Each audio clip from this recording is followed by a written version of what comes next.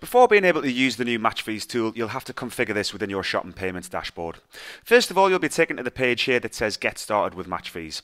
You'll click set up match fees and then you'll be asked whether all of your teams are charged the same amount or not for your fees. So obviously, if your players are all paying the same amount here, you'd click yes. However, if you want to set up different amounts for your different teams, you'll click no. You'll then be asked to give a name to your first set of match fees. So in this instance, we're going to call this one the Senior 2020 to 2021. And then you'll be asked to add in the price variations for your match fees. Once you've popped in those amounts and the different titles for those amounts, you'll click next.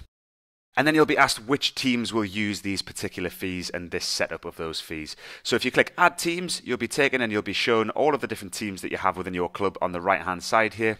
Select the teams that are relevant to these particular fees, save that option and then click next. You'll then be asked if there's any other match fee sets that you'd like to set up. So here, if you've already created one for your senior teams, you might want to create one for your junior teams, which is what we're going to do here. So we'll click add another option, and this time we'll call this Junior 2020 slash 21. You'll then click next again and be asked to put in the different pricing variations for the junior fees. Once you've filled those in, click next. And then again, you'll be asked to select all of the teams that they apply to. Once you've selected those teams, save that and click Next. You'll be taken through to be shown whether all of your teams have been assigned their match fees or not. If everybody has been assigned, you can click Finish Setup, or if there's teams still missing, please go through and add in the other options for those other teams.